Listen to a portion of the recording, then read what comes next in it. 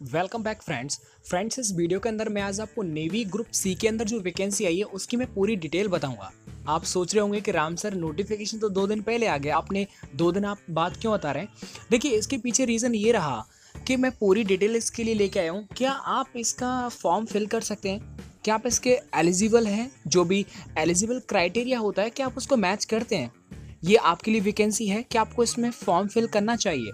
ये सारी बातें मैं इस वीडियो के माध्यम से आज आपको बताऊँगा। नोटिफिकेशन में क्या है क्या क्या रिक्वायरमेंट होने वाली है और यहाँ तक मैंने नेवी हेडक्वार्टर से खुद बात किया था तो उसका ऑडियो रिकॉर्ड है, वो भी मैं आपको सुनाऊँगा। तो इसमें जो जो मेन चीज़ें हैं, वो मैं आपको बता देता हूँ क्या आप इसका फिल कर सकते हैं, नहीं कर सकते कौन कौन सी चीज़ आपके पास होनी चाहिए तो वो सारी डिटेल मैं इसमें बता देता हूँ, ठीक है? फिर भी यदि आपका कोई डाउट या कोई प्रॉब्लम रह जाता है तो आप पूछ सकते हैं। इसके साथ ही साथ मैंने पूरी डिटेल छानबीन करके इस वीडियो को दो दिन के बाद आपको दिया है। तो पूरी डिटेल है क्या? पहले मैं आपको इसमें नोटिफिकेशन में बता देता हूँ। जो मेन मेन बातें हैं, वो बता देता हूँ। देखिए, यहाँ पर वो कहा गया है कि ग्रुप सी के लिए नेवी ग्रुप सी के लिए ये नॉन गैजेट यानी कि मैं कह सकता हूँ कि जैसे आपने देखा होगा ना एयरफोर्स में सिविलियन का होता है।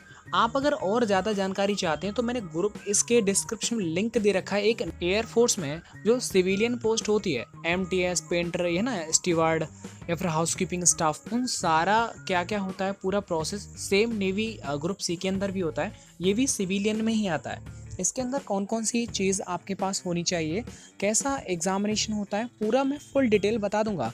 यदि आप फिर भी संतुष्ट नहीं होते हैं तो डिस्क्रिप्शन में लिंक दे रखा है। उस वीडियो को जब आप देख लेंगे तो आपके सारे डाउट जो ग्रुप सी के जितने भी फॉर्म निकलते हैं, चाहे वो आपका आर्मी हो नेवी हो, या फिर एयरफोर्स हो, उन सारा का सारा डिटेल मैंने दे रखा है।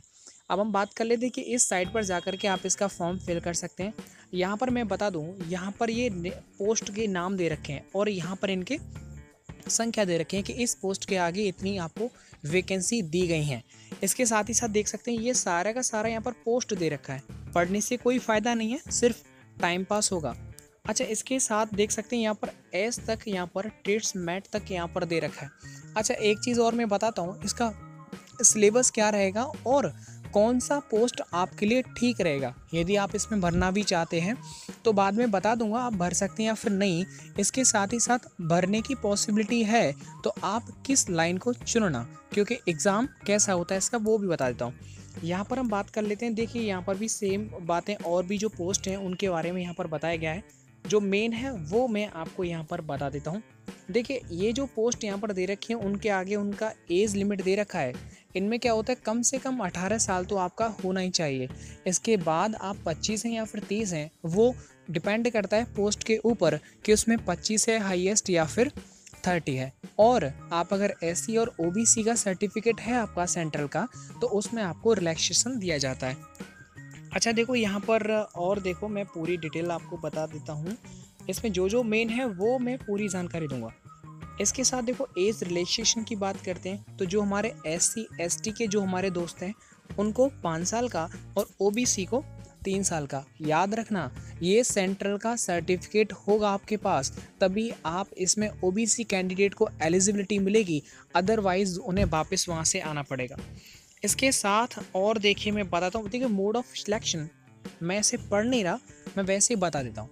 होता क्या है इसमें? सबसे पहले आपको एक यू नो फॉर्म फिल करना होता है। इसके बाद आपको एडमिट कार्ड इश्यू किया जाता है। एग्ज़ाम देने जाते हैं। जिस पोस्ट के लिए आपने आवेदन किया होगा, उस पोस्ट से भी रिलेटेड वहाँ पर क्वेश्चन आपको देखने को मिलेंगे।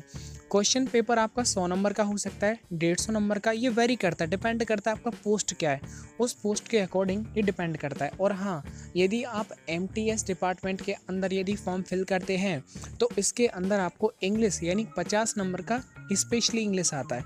जो इसमें सिलेबस और नोटिफिकेशन में दे रखा है ना, जो नंबर दे रखे हैं, हर सब्जेक्ट में कितने कितने आएँगे, वो वेरी करते रहते हैं। अच्छा इसके साथ मैं और बता देता हूँ आपको स्कीम ऑफ़ रिटर्न एग्ज़ाम यहाँ पर देखो, ये पेपर दे रखा है।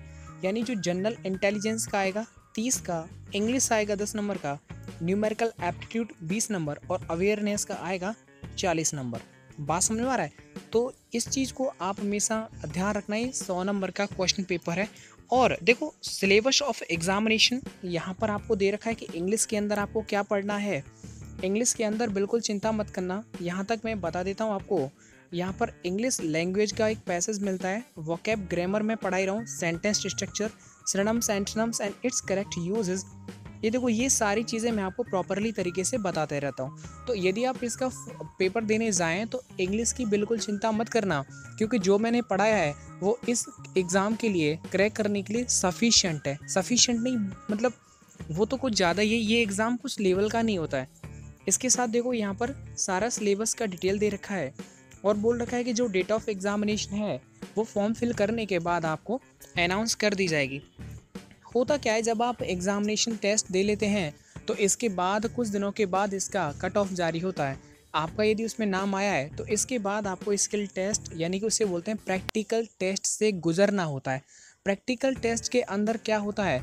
देखिए, उसके अंदर वो डिपेंड करता है, आप जिस डिपार्टमेंट में आपने फॉर्म भरा है, वहाँ पर वो ट्रेड टेस्ट लेते हैं। ठीक है ना? तो ट्रेड ऐसा नहीं है कि वहाँ पर आपको दौड़ लगवाई जाए, है ना? पुलअप्स पुशअप्स इस तरह से कुछ भी नहीं होता।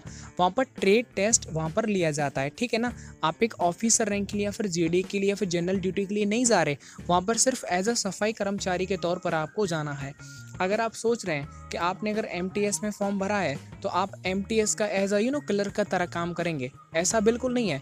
आपको सफ़ाई के लिए लगाया जा सकता है है ना? अब वाटर कैरियर की लगा सकता है। पेड़ पौधों में पानी के लिए मतलब एमटीएस एक ऐसा डिपार्टमेंट होता है, जिसमें हर काम को आपको अनुमति दी जाती है कि ये काम आप कर सकते हैं। तो ये मत सोचना कि एम क्लर के लिए होता है।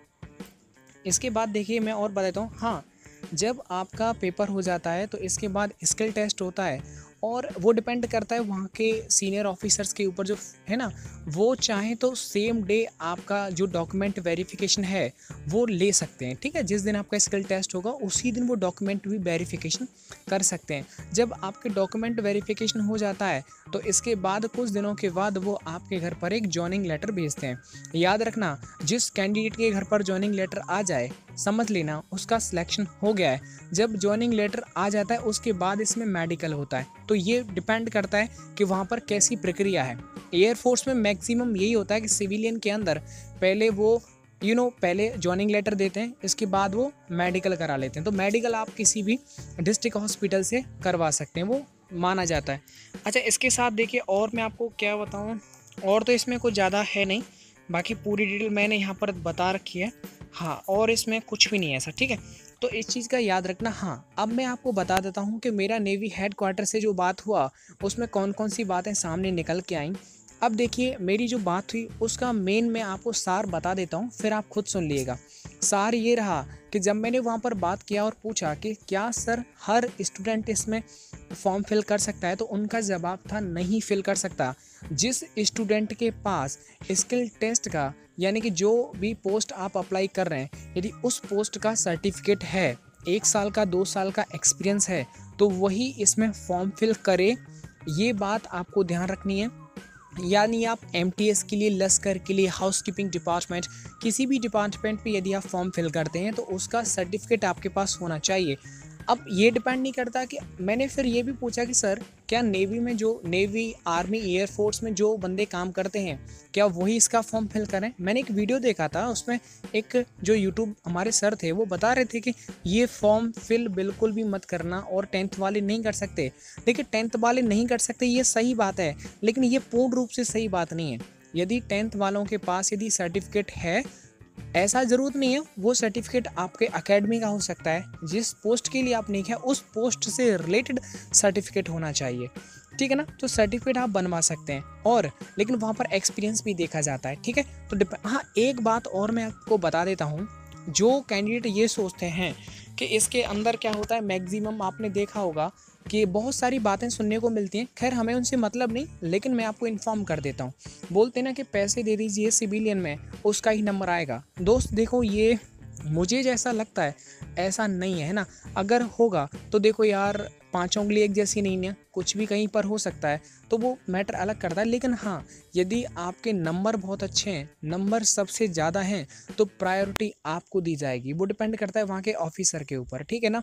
तो मैक्सिमम केसेस में क्या होता है कि जो बंदे पढ़े लिखे होते हैं इनका एग्ज़ाम बहुत अच्छा जाता है, अपने विभाग में जिस पोस्ट के लिए आवेदन किया, उस पोस्ट के अंदर यदि वो बहुत अच्छा नंबर, यानी सबसे फ़र्स्ट नंबर पर आया है तो उसकी पॉसिबिलिटी बनती नहीं, उसकी नौकरी लगती है मेरे भाई।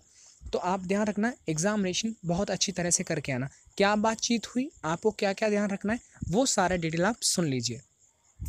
चाहता हूँ जो अभी नेवी ग्रुप सी के अंदर जो वैकेंसी आई है क्या जो स्टूडेंट ने अभी टेंथ कर रखा है क्या वो इस वक्त फॉर्म भरेंगे या फिर जिनके पास एक्सपीरियंस है ऑलरेडी इसमें काम कर चुके हैं वही फॉर्म भर सकते हैं? एक्सपीरियंस वाले चाहिए। एक्सपीरियंस यानी कि हम नॉर्मल स्टूडेंट नहीं इसका अप्लाई कर सकते। हाँ सर मुझे आप बताएँगे कि जो इसमें एक्सपीरियंस चाहिए वो किस तरह का एक्सपीरियंस होना चाहिए? या फिर किसी बाहर की संस्था में काम किया हो या फिर नेवी के अंदर किसी डिपार्टमेंट में काम किया हो? बाहर किसी संस्था में किया रहेगा तो भी उनका लेटर चलेगा। अच्छा अच्छा बाहर यानी जिस पोस्ट के लिए आप आवेदन कर रहे हैं हाँ। उसका एक्सपीरियंस होना चाहिए। हाँ। है ना? चाहे वो बाहर का हो चाहे स्कूल का या फिर किसी अकेडमी का या फिर किसी संस्था का। हाँ। चलिए thank you so much sir आपको इतनी जानकारी देने के लिए आपका बहुत बहुत शुक्रिया ये सारी डिटेल आपने जितनी भी रिकॉर्डिंग थी वो आपने सुनी। बातचीत सुनने के बाद आपको सारा का सारा क्लियर हो चुका होगा। हाँ डाउट बिल्कुल मत करना कि ये किसी और को फर्जी कॉल लगा दिया, ये वे, ऐसे बिल्कुल मत सोचना। यहाँ पर अगर मैं जो भी जानकारी दूँगा, भले ही वो दो दिन लेट दे दूँगा, लेकिन वो कन्फर्म एंड ऑथेंटिकेटेड होगी। ठीक है ना? अगर आप चाहें तो देखो, ऐसा करना, आप नेवी ये इसकी साइड है ना किसी भी साइट पर जाकर के इसके ऑफिशियल नोटिफिकेशन पर जाना, वहाँ पर जब आप देखेंगे ऑफिशियल वेबसाइट पर जाकर के साइड में लेफ़्ट राइट कॉर्नर पर आप देखेंगे ना, वहाँ पर ये दिखा नेवी हेडक्वार्टर का नंबर लिखा होता है, वहाँ से आप उन्हें खुद भी कॉल कर सकते हैं। परेशान मत हो ना सारी डिटेल यही है। चलिए, यदि जानकारी आपको अच्छी लगी है और मेहनत आपको अच्छी लगी है तो प्लीज़ इस वीडियो को प्लीज़ आप एक लाइक दीजिए और अपने दोस्तों में शेयर करें, उनको इन्फॉर्म करें और इस चैनल पर अभी तक बने रहने के लिए आप सबका बहुत बहुत शुक्रिया। Thank you so much.